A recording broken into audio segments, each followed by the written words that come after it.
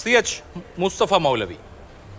ആയിരത്തി തൊള്ളായിരത്തി മുപ്പത്തി ഏഴിലെ ഷെരിയത്ത് ആപ്ലിക്കേഷൻ ആക്ട് അനുസരിച്ചാണ് ഈ വിവാഹം പിന്തുടർച്ച തുടങ്ങിയ കാര്യങ്ങൾ നിശ്ചയിക്കപ്പെട്ടിരിക്കുന്നത്. ഇവിടെ ഇപ്പോൾ നമ്മുടെ സമൂഹം ഒരുപാട് മുന്നോട്ട് പോയി. ആയിരത്തി തൊള്ളായിരത്തി മുപ്പതുകളിലെ അവസ്ഥയല്ല ഒരു സമുദായത്തിനുമല്ല. നമ്മുടെ സമൂഹം ഒരുപാട് മുന്നോട്ട് പോയി. അതനുസരിച്ചുള്ള മാറ്റങ്ങൾ നമ്മുടെ സമൂഹത്തിൽ വന്നിട്ടുണ്ട്. കുടുംബങ്ങൾ അണുകുടുംബങ്ങളായി മാറി.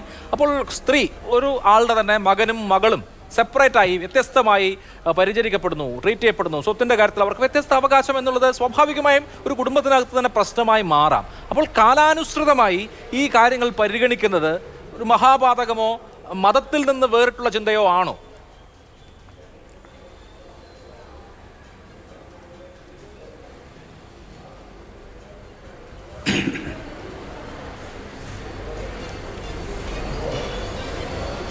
സി എച്ച് മുസ്തഫ മൗലവി അങ്ങയോടാണ് ചോദ്യം.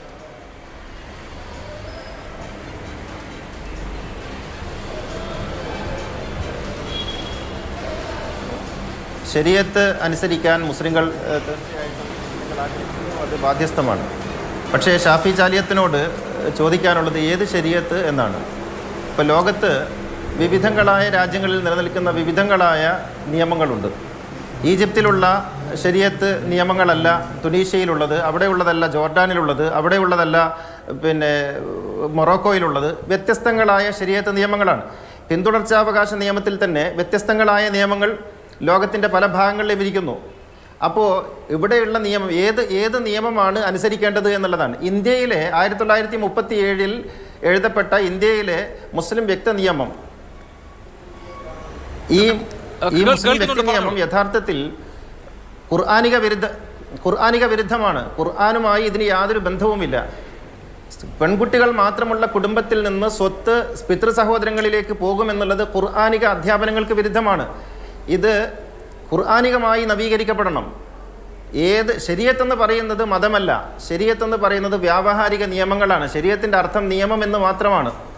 അത് കാല കാലാനുസൃതമായി പരി പരിഷ്കരിക്കുകയും നവീകരിക്കുകയും ചെയ്തിട്ടാണ് ഇവിടെ എത്തിയിട്ടുള്ളത്. ഇസ്ലാമിൽ വ്യത്യസ്തങ്ങളായ ചിന്താധാരകളുണ്ട്. ഷാഫി മദ്ഹബ് ഹനഫി മദ്ഹബ് എന്നിങ്ങനെ വ്യത്യസ്തങ്ങളായ മദ്ഹബുകളുണ്ട്. ഈ മദ്ഹബുകളൊന്നും മുഹമ്മദ് നബിയുടെ കാലത്തുള്ളതല്ല. പിൽക്കാലത്ത് പണ്ഡിതന്മാർ അവരുടെ ഗവേഷണങ്ങളിലൂടെ അവർ സ്ഥാപിച്ചിട്ടുള്ള സ്കൂൾ ഓഫ് തോട്ടാണത് അത് ഗവേഷണങ്ങളിലൂടെ വന്നതാണ്. അത് ഏതെങ്കിലും ഒരു കാലഘട്ടത്തിൽ നിലച്ചു പോകുന്നില്ല. അത് അനുസ്യൂതം തുടർന്നുകൊണ്ടേയിരിക്കുന്നുണ്ട്. ഇരിക്കേണ്ടതുമാണ്. മനുഷ്യന്റെ വളർച്ചയ്ക്കനുസരിച്ച് അത് മാറണം. ഇപ്പോൾ പെൺകുട്ടികൾ മാത്രമുള്ള കുടുംബത്തിൽ നിന്ന് യഥാർത്ഥത്തിൽ സ്വത്ത് പിതൃ സഹോദരങ്ങളിലേക്ക് പോകുമെന്നുള്ളത് ഖുർആാനിലെ നാലാം അധ്യായം നൂറ്റി എഴുപത്തി ആറാമത്തെ വചനത്തിന്റെ വിരുദ്ധമായ നിയമമാണ്. മക്കളുണ്ടെങ്കിൽ മക്കളുണ്ടെങ്കിൽ സഹോദരങ്ങൾക്ക് പോകില്ല എന്നാണ് ആ വചനത്തിലുള്ളത്. പക്ഷേ അവിടെ മക്കൾ എന്ന എന്നുള്ളതിന് ആൺകുട്ടി എന്ന് അർത്ഥം പറഞ്ഞു. അങ്ങനെ വലത് എന്ന വാക്കിന് ആൺകുട്ടി എന്ന അർത്ഥം പറഞ്ഞിട്ടാണ് അതിനെ വക്രീകരിച്ചിട്ടുള്ളത്. ആൺകുട്ടി എന്നല്ല പെൺകുട്ടിയായാലും ആൺകുട്ടിയായാലും വലത് എന്ന ഖുർആാനിലെ പല പല പ്രയോഗങ്ങളും അവിടങ്ങളിലൊക്കെ മക്കൾ എന്നാണ് അർത്ഥം പറഞ്ഞിരിക്കുന്നത്. ഇവിടെ ആൺകുട്ടി എന്ന അർത്ഥം പറയുകയും സ്ത്രീകൾക്ക് അവകാശം നിഷേധിക്കുകയും ചെയ്തു. പിന്നെ ഇവിടെ ഷാഫി ചാലിയം പറഞ്ഞു സംരക്ഷണ ബാധ്യത. എവിടെയാണ് അത് എഴുതിയിട്ടുള്ളത്? സംരക്ഷണ ബാധ്യത പിന്തുടർച്ചാവകാശ നിയമത്തിൽ നൽകപ്പെടുന്നത് അൺകണ്ടീഷണലാണ്. അവിടെ ഒരു ബാധ്യതയും ആരെയും ഏൽപ്പിക്കുന്നില്ല. സംരക്ഷണ ബാധ്യത എന്നുള്ളത് എവിടെയാണ് ഈ സ്വത്തവകാശം പിതൃ സഹോദരങ്ങൾക്ക് കിട്ടുന്നതിന് അവർ ഈ മക്കളെ സംരക്ഷിക്കണമെന്ന് പറയുന്നത്? എന്ന് മാത്രമല്ല ആൺകുട്ടികളാണുള്ളതെങ്കിൽ ചെറിയ നാലും അഞ്ചും വയസ്സുള്ള ആൺകുട്ടികൾ അല്ലെങ്കിൽ രണ്ടും മൂന്നും വയസ്സുള്ള ആൺകുട്ടികളുള്ളപ്പോൾ ഈ പിതാവ് മരണപ്പെടുന്നു. അപ്പോൾ ഈ ആൺകുട്ടികളെ സംരക്ഷിക്കേണ്ടതില്ലേ? ആൺകുട്ടികളാണെങ്കിൽ സ്വത്ത് പിതൃ സഹോദരങ്ങൾക്ക് പോകില്ലല്ലോ. അപ്പോൾ ഈ ആൺകുട്ടികളുടെ സംരക്ഷണം എന്നുള്ളത് എന്തു ചെയ്യും? ഈ സംരക്ഷണം എന്നൊക്കെ പറയുന്നത് എവിടെയും എഴുതപ്പെടാത്ത നിയമത്തിൽ എവിടെയും പറഞ്ഞിട്ടില്ലാത്ത വ്യാജമായ ഒരു ഒരു അവകാശവാദമാണ്.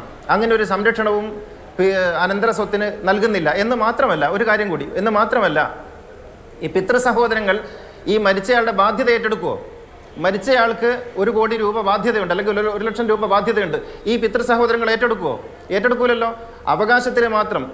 എന്നിട്ട് ഈ കുട്ടികളുടെ ഇപ്പം നേരത്തെ അഭിലാഷ പറഞ്ഞു ഐഷുമ്മയുടെ കഥ താനൂരുള്ള ഞാൻ അവിടെ നേരിട്ട് പോയതാണ്.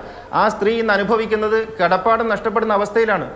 ജപ്തി വന്നിരിക്കുന്നു. നാല് വർഷമായിട്ട് ഈ ഭർത്താവിന്റെ സഹോദരങ്ങൾ ഒപ്പിട്ട് കൊടുക്കുന്നില്ല ഒഴിമുറി കൊടുക്കുന്നില്ല. കോഴിക്കോട് പത്ത് വർഷമായിട്ട് ഒഴിമുറി കൊടുക്കാതെ സ്വന്തം വീട് അന്യമായി തീർന്ന ഒരു കുടുംബം മിഞ്ഞ മിനിഞ്ഞാൻ നടന്ന വുമൻസ് കോൺഫറൻസിൽ വരികയുണ്ടായി.